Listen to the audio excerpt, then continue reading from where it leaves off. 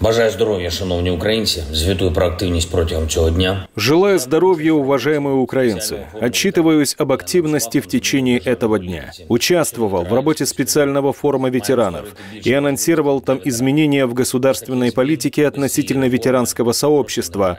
Должны создать больше возможностей для ветеранов. Без таких изменений, без этой реформы просто невозможно. Ветераны войны за независимость Украины стали одной из самых значимых и самых уважаемых групп в нашем обществе, со своей спецификой, со своими потребностями, со своими ожиданиями, на которые нужно реагировать, чтобы ветераны могли внести свой вклад не только в защиту нашей страны на передовой, но и в послевоенное развитие Украины.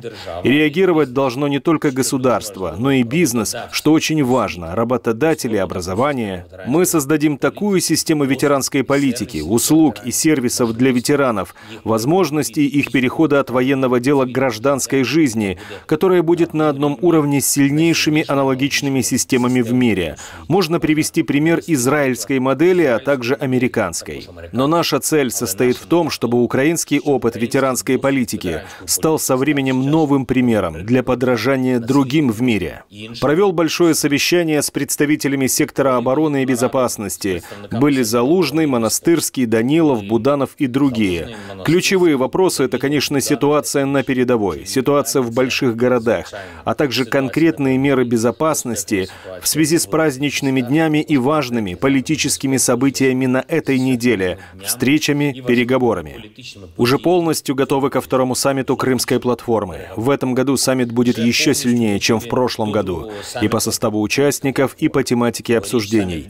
Мы значительно расширяем формат Крымской платформы. Завтра мы озвучим все детали.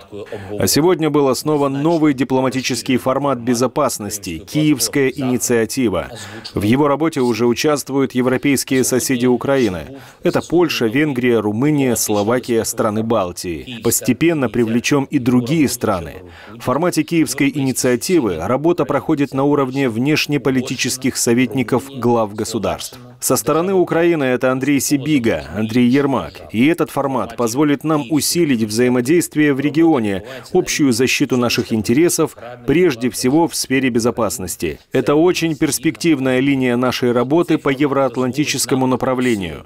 Сегодня есть хорошая инфраструктурная новость. Обновили и запустили железнодорожную ветку, соединяющую Украину и Молдову. Причем мы сделали это и на нашей территории, и на территории Молдовы. Наша Укрзалезница сделала. Молодцы. Почти 25 лет этот маршрут был закрыт, а теперь снова работает на Украину. Это важное транспортное направление. И средний объем грузов за год может составить около 10 миллионов тонн. Благодарен нашим партнерам из Молдовы. Закончились поисковые работы на месте удара оккупантов по жилому дому в Харькове. Дом был разрушен российским обстрелом еще в прошлую среду. Только сегодня удалось извлечь из-под завалов тела всех погибших. Один этот российский удар унес жизни 19 человек. Один.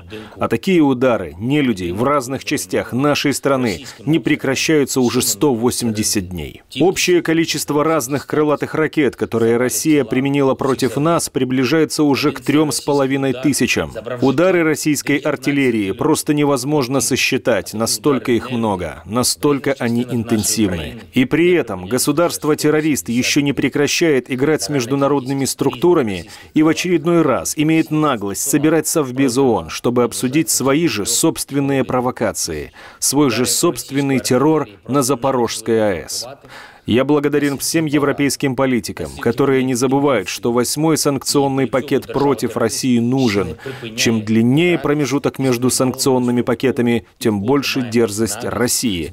И я благодарен всем нашим друзьям, всем друзьям свободы в разных странах мира, которые продвигают необходимость признать объективную реальность и юридически определить Россию государством-террористом. Это решение все равно появится, раньше или позже, и вопрос Вопрос лишь в том, сколько еще жизней Россия успеет унести, пока ответные удары от международного сообщества не станут действительно ощутимыми для тех, кто ответственен за этот террор. И, уважаемые украинцы, особенно на днях, когда мы отмечаем День нашего флага и День нашей независимости, если вы находитесь где-то за границей, пожалуйста, напоминайте там об Украине, будьте там с украинским флагом и распространяйте правду о преступлениях оккупантов. Держимся все вместе, где бы мы, украинцы, ни были. Слава всем, кто защищает страну. Спасибо всем, кто воюет за Украину.